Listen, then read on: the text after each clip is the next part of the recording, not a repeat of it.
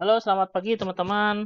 Kita ketemu lagi di tutorial Google Classroom chapter ketiga. Hari ini kita akan membahas bagaimana cara uh, video streaming melalui Google Meet. Pada video sebelumnya saya sudah membahas tentang membuka akun Google Classroom, membuat kelas, terus memasukkan bahan ajar bahkan ujian. Nah, kita mulai tutorial kali ini. Oke, uh, sebelumnya saya sudah membuat empat kelas nih yang saya ampu di semester ini. Kita akan coba, nah di ini ya mata kuliah anatomi imaging. Kita klik ke mata kuliahnya. Oh ya, saya menggunakan Google Classroom yang ada di PC atau laptop ya. Tampilannya lebih lengkap nih. Oke, kita akan mencoba melakukan video conference atau online meeting dengan siswa. Nah, di bawah nama mata kuliah, ini mata kuliahnya. Terus di sini ada kelas kode nih, kode kelasnya. Nah, ini adalah Meet Link nih. Ini fitur baru di Google Classroom. Kita bisa langsung koneksikan Google Classroom ke Google Meet kita. Nah, kita klik ini generate meet link kita klik ya nanti akan muncul window seperti ini. Kita klik lagi generate meet link. Oke kita tunggu sebentar. Nah ini adalah link untuk kita melakukan teleconference. Kita klik visible to student. Nanti peserta bisa langsung melihat linknya di halaman ini. Oke kita juga bisa copy kita copy. Nah, ini jangan lupa kita save.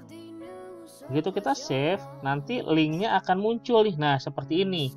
Nanti jika kita mau mengadakan uh, online meeting, kita bisa bikin pengumuman di kelas.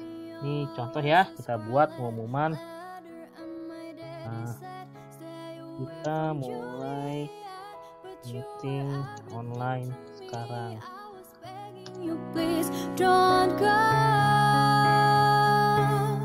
Atau bisa juga kita tambahkan link tadi di pengumuman ini. Nah oke okay, kita posting sekarang. Oke. Okay. nah nantinya siswa begitu lihat pengumuman mereka akan tinggal klik link ini yang ada dan akan langsung menuju ke uh, window Google Meet. Kita langsung coba ya kita klik ini. Kita klik di sini juga bisa kita klik di sini. Nanti akan diarahkan ke Google Meet kita Nah, seperti ini. Kita langsung masuk masuk ke akun saya. Nah, ini kita tunggu sebentar. Biasanya tidak lama-lama. Bisa di bawah satu menit ya untuk prosesnya. Oke, nah kalau kita belum pernah memakai Google Meet di komputer, ini biasanya ini akan minta akses nih ke kamera dan mikrofonnya ya ini meet needs access to your camera oke. Okay. ini kita klik dismiss.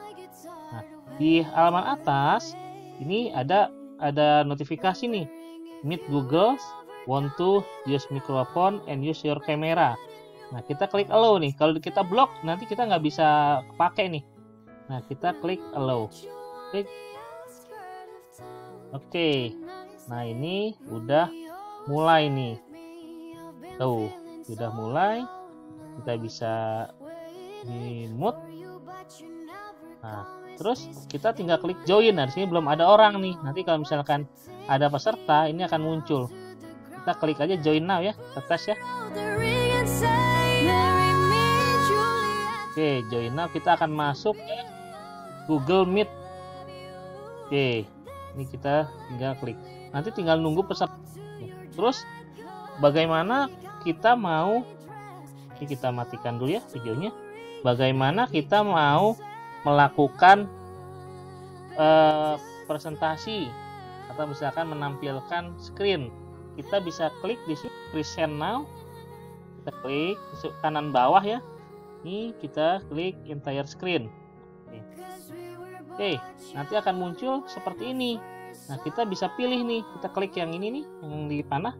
Kita klik, nah muncul sampai klik share Begitu kita klik share, ini langsung kita akan men-share uh, apa pun yang tampil di screen-nya. Nah, ini sampai seperti ini nih sudah udah muncul nih.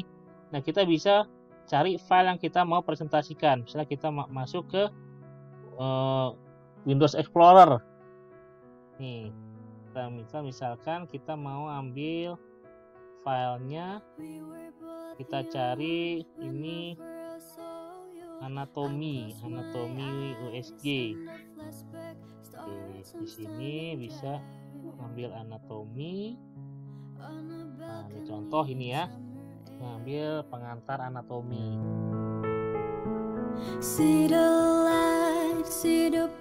Kalau sudah tampilan layar seperti ini, kita bisa melakukan sama kalau presentasi biasa nih.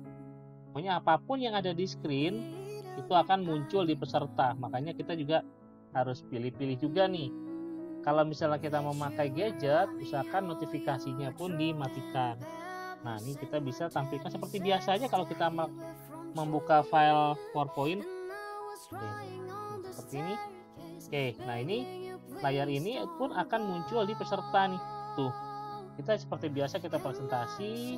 Nah ini akan muncul semuanya di peserta seperti ini kita bisa presentasi seperti biasa termasuk pointer yang ada ini yang pointer-pointer yang tanda panah ini pun akan muncul di peserta kalau udah mau stop sharing gimana kita klik ini nih stop sharing nah jadi kita klik stop sharing kita balik lagi ke layar ini So tadi saya pakainya ini. Oke, ke layar ini. Oke. Terus menu apa lagi yang ada di Google Meet. Nah, kita bisa melakukan chat. Chat bisa nih fiturnya mirip-mirip dengan Zoom atau Webex atau uh, Windows Meet. Eh Windows Meet, Windows uh, Meeting ya. Lupa itu. Nah, ini bisa tinggal chat aja di sini. Hai. Hai, Class. Kita bisa ya, seperti ini. Nah ini chatnya akan di, dilihat oleh semua peserta. Atau kita bisa langsung chat ke peserta yang diinginkan. Misalkan di sini ada 10 peserta kita mau chat ke siapa nih? Tinggal klik lakukan chat ya, fiturnya simple tampilannya nggak nggak banyak tombol-tombol. Sederhana banget tuh Google Meet. Nah dengan tampilannya pun menurut saya oke. okay. Oke? Kalau misalnya sudah selesai kita tinggal end chat aja nih nih tengah-tengah nih. End chatnya nih kayak kita tombol end call nih tuh leave call. Nah kita tinggal klik aja sini leave call nih. Kita klik nah ini udah selesai. You left the meeting. Nah oke. Okay. seperti itu ya tutorial kali ini. Untuk tanya jawab bisa tampil bisa kalian atau teman-teman sampaikan di kolom komentar. Oke, sekian dari saya, Wahyu Hidayat. Sampai jumpa di tutorial berikutnya. Assalamualaikum.